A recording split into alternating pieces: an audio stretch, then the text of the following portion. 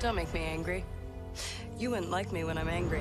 Hello Marvel fans! Thank you so much for clicking on that button and finding this video. We hope you have a great day and enjoy what you're about to see. If you are new to this channel, please give us a like and subscribe. And don't forget to hit that bell so you never miss a new video. Today I gotta talk a little bit about She-Hulk. Look, when this was first announced, this was my most anticipated, the one that I was looking forward to the most of all the Disney Plus Marvel shows. I said, oh, I wanna watch She-Hulk. I love the Hulk, love She-Hulk, quirky, funny, breaking the fourth wall, all that fun stuff stuff. That's what She Hulk has to offer. And then, of course, she's a lawyer who decides not to even revert back to her human form, just wants to stay in the Hulk form. Love it. Couldn't wait for it. Then you have all creatives, very odd choices, you know, Rick and Morty writers, things like that. Just like all this unusual, but you know, but it worked because She Hulk, to me, it worked because She Hulk is quirky on itself. So you don't want traditional storytellers. But then again, you look at the track record of the MCU and you bring in the Russo brothers and you bring in Peyton Reed and you bring in these types of creative that don't fit the bill of comic book films that you would think wouldn't fit the bill.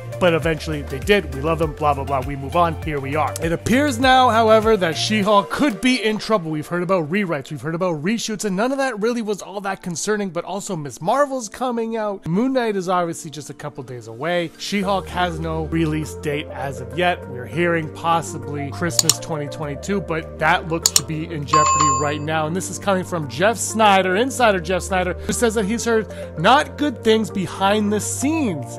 I've asked whether it's Moon Knight or Miss Marvel or Secret Invasion or any of these projects, and they're always like, it's She Hulk. She Hulk is the one that could be a problem. He goes on to say that I've heard it from people working on it, from people actually working on it, who are just like, we'll see. I think that's a lot of Marvel things, honestly, and you know, where it's just like, ugh, this could really be stupid.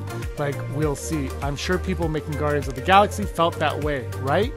And most of the time, Marvel pulls it out. But there will come a time when they won't.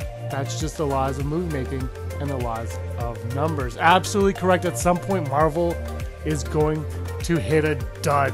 And whether or not that She-Hulk remains to be seen. And look, this person, this source, Sneider's source, brings up a very good point. Guardians of the Galaxy was zany. There was a talking raccoon, a tree that said, I am Groot. That's the only thing it said. That was a chance, a risk that they took, and they ended up pulling it off. She-Hulk, I don't know.